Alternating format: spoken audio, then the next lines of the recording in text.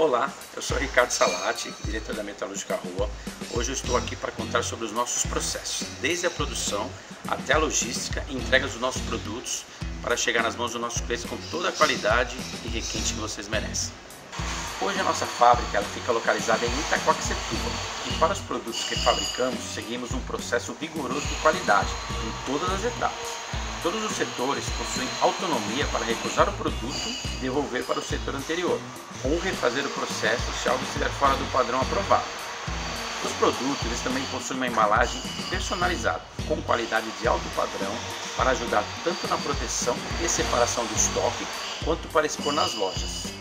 Saindo da fábrica, os produtos seguem para o nosso centro de distribuição, que fica aqui na Fernão Dias, em Atibaia.